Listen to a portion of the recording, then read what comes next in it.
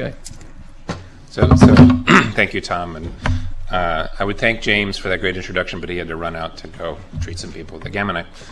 Um, and, uh, and just to, to touch a little bit on Len's question uh, from the last time, there's always, there's, always an, there's always an element of choice, right? There's, you know, there's a substantial number of patients that we treat that are not surgical candidates. There's a large number of patients that we never see because they're great surgical candidates. But the efficacy of this technology becomes very important for those patients who are high risk candidates. And so, you know, we've spent a lot of time trying to identify subgroups where radiosurgery does not work, for example, and hopefully the surgeons are identifying subgroups where surgery is higher risk. But it, it, that always is going to come into play. So, um, as an academic, as you all know, the only thing better than recycling your own presentation is recycling other people's presentations.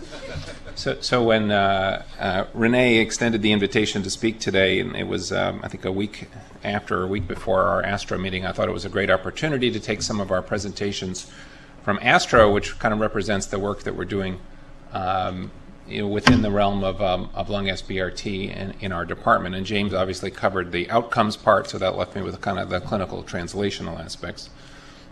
So James did a great introduction. The difference between radiosurgery and fractionated radiation really is that radiosurgery is a much higher biologically effective dose, BED, uh, and is delivered with much higher precision, so therefore hopefully more effective and at the same time less toxic because we're treating less of the surrounding normal tissue. This is actually the first, um, I don't know how to use the, this one? So this is actually uh, the first report of SBRT used in lung tumors from 1995, so that defines ancient history uh, in radiation oncology. So in North America, the clinical work really started at the University of Indiana with Rob Timmerman. Uh, he conducted phase one dose escalation and, and then a, subsequently a phase two trial.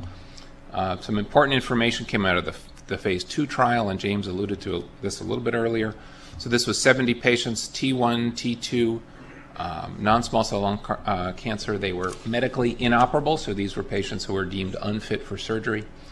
Um, they were treated with uh, SBRT. Uh, they received very high dose, 60 gray or 54 gray in three fractions. And uh, the local control of close to 90% was just markedly better than anything we'd seen before in fractionated radiation. More interestingly, the, pa- the pattern of failure was much different also than what we're seeing. There very few local failures and more of a, a, failure pattern that you see with surgery, a lot of nodal and a lot of distant failures. There were significant grade three to five toxicities. Okay, so part of the reason this number is two is, is relatively high is something that Tom alluded to in his question. When this protocol was written, they announced that basically any pulmonary toxicity would be attributed to the to the radiation treatment. So a lot of these patients actually entered the trial with a baseline grade 3 pulmonary toxicity. Um, and obviously, if they got worse, it was counted as a grade 4 or, or a grade 5. Um, but the interesting thing that, that the authors found was that the vast majority of the um, high toxicities occurred in patients with centrally located tumors. So those within what they call the zone of the proximal tracheobronchial tree, so within two centimeters of those structures. So if you exclude those patients and just treat peripheral tumors, the treatment was very well tolerated, 10% grade 3 or greater toxicity, where it was significantly higher, 27% in those central tumors. And this is important just to talk a little bit about the work that we presented this year. So that was the, the, that favorable subset was what was identified to proceed with the large RTOG study, the 0236, which James mentioned. Again, uh, three-year overall survival, 56%. Lobar, the lobar failure rate was less than 10%. And again, a pattern of failure similar to you'd see from surgery. Very low toxicity in these small tumors, very peripherally located. So this was our program. So our program started in 2007. Um, we, uh, I think, treated started treating in the fall of that year. Um, in the first four years, we had really um, very, um, really incredible growth of the program. It's flattened out a little bit since 2011, primarily because we now also treat these patients at several of our ambulatory sites. And also, since that time, many of the other um, unaffiliated programs in the state have started their own programs. So, through about 2008, 2009, we were the only provider in the state for the service. Um, and now it's a little bit diff- more difficult to compete for those patients. So, we seem to be hovering around 70 primary lung cancers, cancers a year just in this, uh, just in the, in the Smilow building. Um, And as you can see, the oops in green, uh, a number of the metastatic patients. So our, we, we um, submitted and presented a number of uh, fantastic studies at our ASTRO uh, meeting this year. And this is really just a collection of our, our pulmonary presentations. About half of these are outcomes-based research, and James uh, really has been the mentor to all of our, our residents and fellows um, uh, with that respect. I chose three of the clinical presentations that were presented in an oral session to kind of give you a sense of where we're going with our uh, research program. So first, I identified uh, that peripheral tumors are the ones uh, that have been identified as safe to treat. Obviously, we don't really have a choice of the patients that come to us, and we have, if we have a medically inoperable patient with a centrally located tumors, we'd like to offer them the safest and most effective therapy. The RTOG has conducted a trial on this, which they just completed accrual to. So in a year or so, we will uh, start to see some results for that. We have been treating central tumors off protocol, and we've been using a, uh, a, a kind of dose adaptation where we've been using a somewhat lower biologically effective dose, spreading the fractionation from three to five fractions. Um, and uh, so this was really just a retrospective review of our experience. Uh, so we selected uh, patients with primary lung cancers, uh, basically in, in the Smilow building that were within the zone of the uh, proximal tracheobronchial tree, or, or you know immediately adjacent to other mediastinal structures. And this is a pretty well-established definition of central at this point. Um, this is patients that have at least a year of follow-up. So we stopped selecting patients in August of 2013. We identified 111 central tumors and compared them to 150 peripheral tumors that we treated over the same time period. Um, interestingly, the central tumors tend to be somewhat larger, um, as you can see, and that's consistent um, among groups who report this kind of thing. We treated them to a lower biologically effective dose, so the peripheral tumors um, got the standard fractionation as developed by the RTOG0236. Our central tumors tend to get treated somewhat lower dose, and over time, our treatment has evolved from lower BEDs up to somewhat higher BED, and we're sitting right around here this time. So you can see the central tumors tend to get a little, a few more fractions and a little bit lower dose. So the question really was whether this was a safe and effective treatment. On univariate analysis, comparing the central and peripheral tumors, the overall survival was essentially no different between the two cohorts, despite the fact that the central tumors were somewhat larger and, the patients were somewhat older. Uh, local control, again, identical in both cohorts, so the biologically effective dose that we've chosen for our central tumors does seem to be sufficient, um, at least within the bounds of uh, this relatively small experience. The most important outcome here was toxicity, and what we were expecting to see was that we were having higher toxicity in the central tumors, um, hopefully not as bad as, as was seen when they were treated to higher dose. We were expecting to see a somewhat higher rate. Um, surprisingly, it turns out that um, acute toxicity, which is mostly pulmonary, uh, was actually higher uh, in the peripheral tumor cohort than the central tumor cohort. And we hypothesize one reason is that we're treating more lung in these patients and less mediastinum. Um, late toxicity that occurring after 30 days, I'm sorry, after 90 days was essentially no different um, and uh, quite acceptably low. So on multivariate analysis, when controlling for the other uh, clinical pathologic factors and predictors of toxicity, um, this uh, uh, risk of acute toxicity being somewhat higher in the peripheral uh, cohort uh, actually held up, and, and again, the late toxicity, there was no difference. Um, and we found that we were basically not seeing local failure, so we were not seeing an effect of the lower dose on those central tumors. So in conclusion, uh, we found that patients with these centrally located tumors treated with our dose-adapted scheme uh, appeared to have non-inferior uh, acute late toxicity and non-inferior local control and survival. So we think this is a successful strategy. The RTOG 0813 is the completed trial. We'll see the result of that in the next year or two. Um, this actually represents the largest experience in North America in central tumors um, and the second largest um, internationally. The, the group in the, at the VU in the Netherlands has about 140 patients. And, and Roy, you defined this earlier. What's the definition of a central tumor? So typically it's defined as either within two centimeters of the central airways, so the lobar bronchi or the bronchus intermedius or the trachea. By CAT scan. Yeah, by CT scan. So, and this is different than surgeons defining central tumors, which is actually a little bit more nebulous. Okay, so um, so this led us to second presentation. Since we have a large experience in central tumors, one of the reasons that we have been so conservative with our dose fractionation scheme is fear of tracheoesophageal fistula or fear of uh, uh, esophageal stenosis. This is felt universally to be the dose limiting factor um, in lung tumors, and the reason why typically we will treat uh, even a, a hilar mass, but not a mediastinal mass, with stereotactic body radiotherapy. So there's a lot of interest as this technology diffuses into the community in figuring out what the uh, dose volume predictors of esophagitis are. So I apologize in advance. Um, the only people who are ever going to care about any of this are radiation oncologists. Um, but just to give you a taste of kind of the, the studies that we do. So um, again, esophageal toxicity is, we think, the dose limiting uh, uh, effect of, of, centrally located uh, lung tumors getting radiosurgery. The current dose constraints that we all use are basically made up. they are extrapolated from fractionated treatment, um, and essentially they were chosen out of a hat, and we've all been following them and getting away with it. So the purpose of this study was to review our own toxicity and to try to um, establish uh, some of those dose volume risks. So um, this work, most most of this work was done by uh, a fantastic medical student named Eileen Harder, who actually contoured the esophagus on several hundred patients um, and carefully collected their dose volume data. We collected the dose um, to points in the esophagus as well as dose to various volumes in 0.5 cc increments.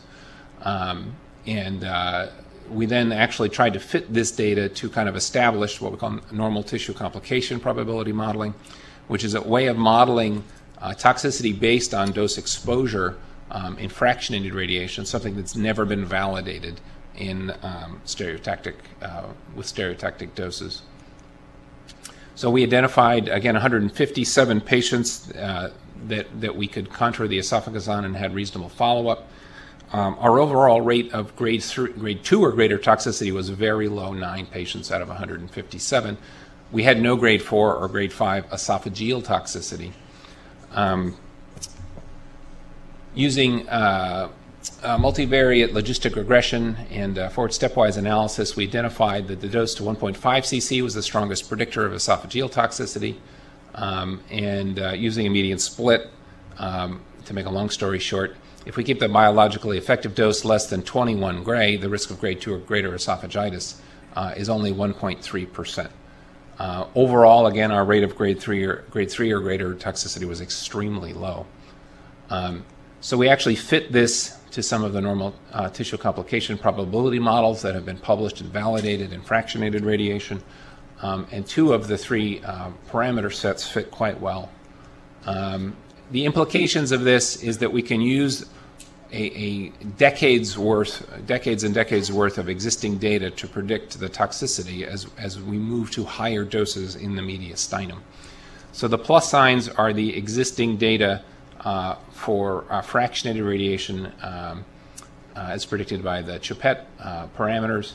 And these large circles are our own data. As you can see, we fit the curve reasonably well. As we accumulate experience, hopefully we'll gain more dose. But if we can use this model, basically we can use our experience, which has relatively low toxicity, to predict where this curve is going to get steep.